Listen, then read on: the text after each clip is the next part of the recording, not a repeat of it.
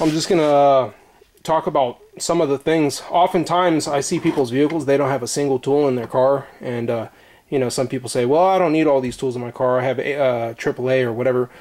Well, some cases you might get caught in an area where you don't have access to your phone or something like that. So you, you can have you got to have some of the tools that you need just to I would say you would need tools to change your tire or put your spare um, to change your battery or at least clean up the terminals um, maybe do a quick uh, like to change your um, the belt your drive belt um, simple stuff like that just in order to get you to nearest town nearest city where I live, there's long stretches of desert, and in some areas, there is no communication. And I've had people in the middle of the street, you know, flagging you down, try asking for help, and they had no service for their cars.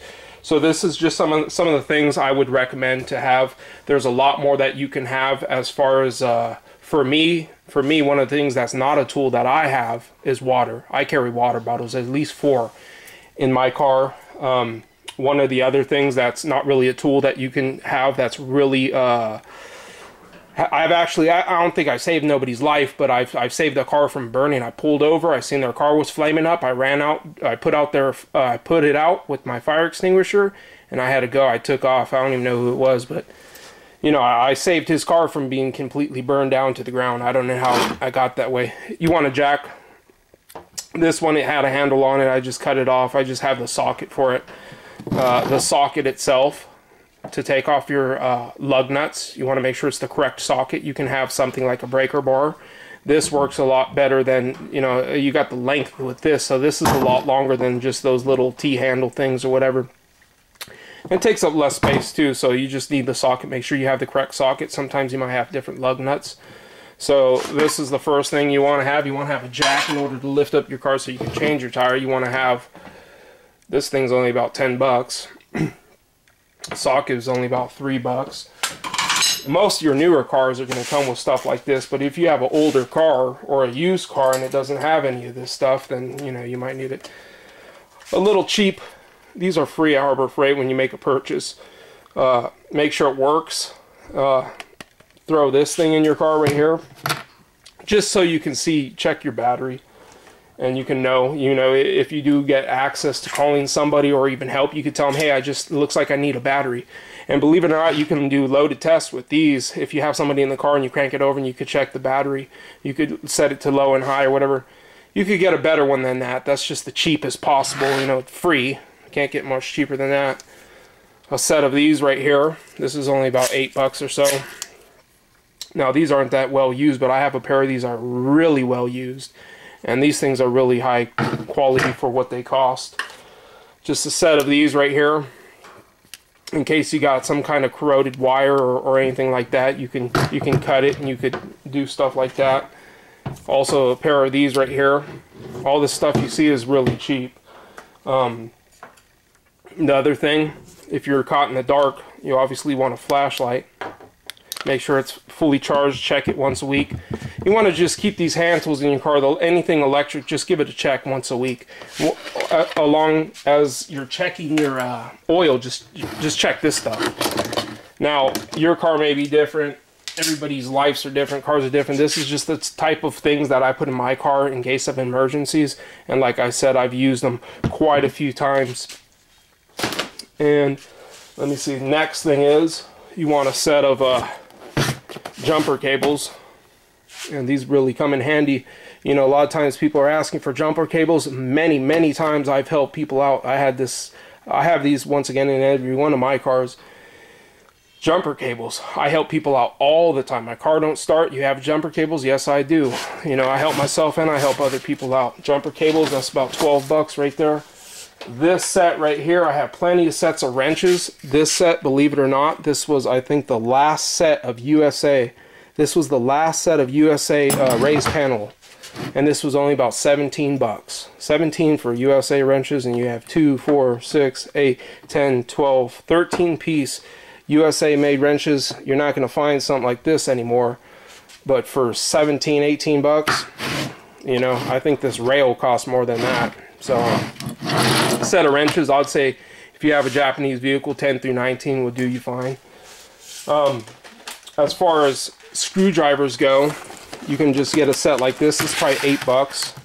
And these are, I believe, insulated. I'm not sure. These are good. These are just from Harbor Freight, eight bucks. You really only need the middle size, though, the number two. For the flat, I would have one flat and one uh, Phillips. That, that's pretty much all you would need, flat and Phillips. And uh, so this is a set you can get for probably, I forgot, 15, 20 bucks. It's just like a Duralast set you get from your local auto parts store.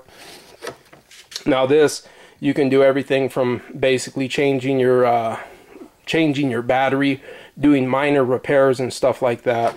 So uh, have a nice set, like it has metric from 4 to 12 millimeter. This might not be the ideal. This might be like a little smaller than what you might need. That's only about 15 bucks right there. And I got another bigger one right here though. This set right here. This is a little bit better of a set. And believe it or not, you can do a lot of work with something like this.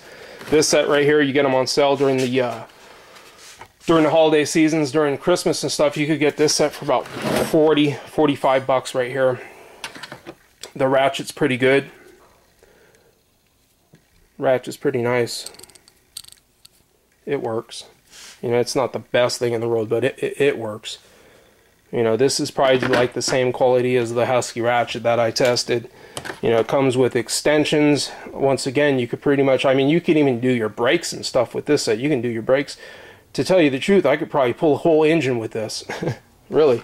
With this stuff I'm showing you, I could probably pull a whole engine. Even with the jack and everything. I would just, you know. Anyways that. And um, you really don't often need a hammer or anything like that. But this next thing, the last, last but not least, you can use this for a hammer. Uh, you know, you could use it for mul multiple, you know, purposes. Really, you know, uh, there's I've heard stories where people get caught in the woods and you know they have nothing to do anything with. With that, you can do a lot of things, and you can use it as a hammer. You can use it as self-protection. You can use it as a lot of different things, basically. Even if you really had to hunt or something, you know, kill a freaking animal or something. And I would say have a pair of gloves. Have a pair of gloves. That's minimum. I would say that's probably like about the minimum type stuff. I don't keep both of those. Um, I don't keep I don't keep this and the other set. I'll just keep one or the other, usually the bigger set. This stuff doesn't take up too much room. It's going to take up a lot less room than all the extra crap you got in your car, you know, the stuff that you don't need, the stuff that you don't use. All this type of stuff, you probably, you may not, you know, depending on where you live, you may not need a hatchet or anything, but you can use this actually as like a pry bar. You can use it to, you know, cut thick cables you can use it to, in extreme circumstances, you know, uh, cut wood for a fire just for survival or, or whatever have you. You know what I mean? And I have. I've used that plenty of times. I, I go camping and stuff, so I use that all the time. I use that to put stakes for tents. I use it for cutting wood. I use it for all kinds of stuff. Uh, killing chickens. Um, anyways, so uh, that would be, in my opinion, pretty much some of the minimum things you're going to need. Um, you can get whatever type of tools that you are available to you. The free, uh, the free, what do you call it, screwdrivers that you get from Harbor Freight, that's good. You can throw that in there. Just make sure your electronic, make sure your uh, flashlight and everything's working properly. And uh, from there, you just you just give and take what you think you might need. Um, some of the things that you might put in your car that you, you know, like a patch kit. They have these little. It's just, it's only about this size. It's about half the size of this right here it's a little tire repair kit. You can use a tire repair kit, and they sell these little. Um, they sell these right here, so you can get a tire repair kit. You could get these little compressors. It takes forever to to uh, to fill the tire pressure, but it does do the job. You can also put um, some slime, some of that slime stuff. If you get some that slime stuff, if you get multiple nails in your tires, you just you just take out that kit that I was talking about. You take out the valve stem. You throw that stuff in there. You use that little compressor to pop it up. You know, in case you know you're you're flat. your spare tire. And another thing that nobody ever does, I'm sure a lot of people say I do that, but the spare tire, you need to check your spare tire 90% of the time. When I check people's spare tires, it's flat. Or it's, it looks like it's, it's because it's not having pressure on it sitting in the back, but it has no air in it. It's, it's down to like 10 psi or something because it's been sitting there for five, six, seven years. So make sure you check on that. This is the minimum you got to have in your car though, if you want to be self-sufficient and and not get stuck on the side of the road without any type of help. I know there's a lot of people out there like that. I'm thinking most of the people who watch my videos they're not like that. They're probably the do-it-yourself type. And uh, you know, I think a lot of people need to get back into the do-it-yourself type because everybody sits there and waits for everybody to do things for them you got to do stuff for yourself, man. It's just, you know what I mean? You, you just got to. If, if you see something happen to somebody, like like I was talking about with the fire, I'm not going to sit there and say, oh, I'm going to get on the phone and call the fire department. By the time they get there, you know, it's going to be already burnt down. You know, I pull off on the side of the road, I jump out, I, I put it out, I do my part, you know. So, uh, anyways, I would say this is the minimum stuff that you guys need to have. Thanks for watching. Comment, rate, subscribe.